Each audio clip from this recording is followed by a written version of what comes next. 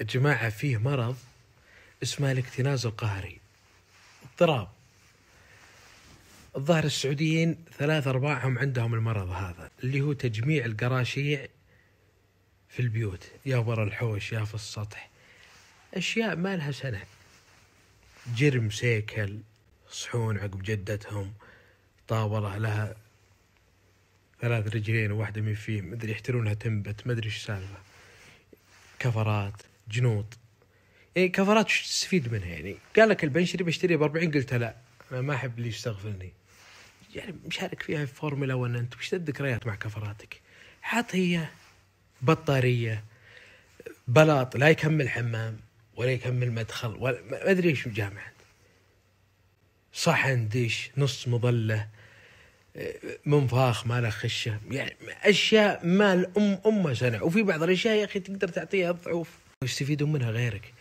يعني في أشياء زايدة عندك تكمل الناس ثانيين أعطهم إياها يا أخي. نفس الشيء الثياب. يقول بخليها للبر. أنت ثيابك خمسة تخلي ستة للبر.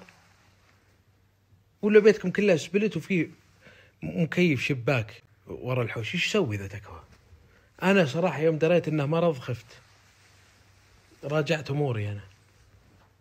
والله القراشيع يوه باب دولاب مراية لوحة يقول ذا شاريها أبوك جعله في الجنة. شاريها من اللوفر شاريها من بن قاسم.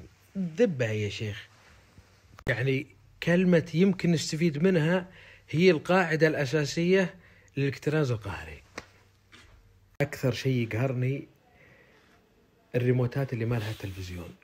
أنا ما قد شفت ذي إلا عند خاط قماشة. ولا كيس السمنت اللي طاقه مطر ويابس. ما يعني عقب يوم يصلحون سقف الملحق. السحاحير حقات البيبسي ذي هذه مهمة ذيك. هذه حاضنتنا الاكتناز حضن